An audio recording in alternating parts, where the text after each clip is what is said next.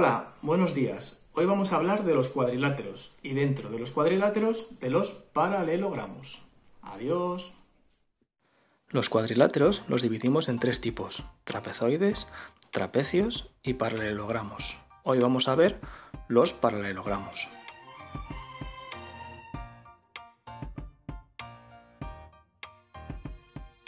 ¿Qué son estos paralelogramos? Pues son figuras geométricas que tienen cuatro lados paralelos.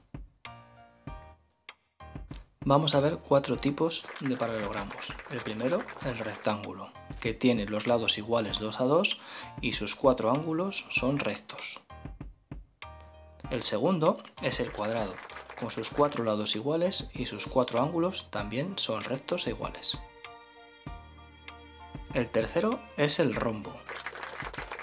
Tiene cuatro lados iguales, pero los ángulos son iguales 2 a 2.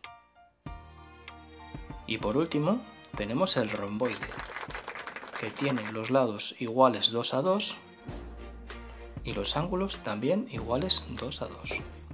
Entonces, resumiendo, si tengo cuatro lados iguales, los puedo convertir en un cuadrado con sus cuatro lados paralelos 2 a 2 y sus cuatro ángulos rectángulos.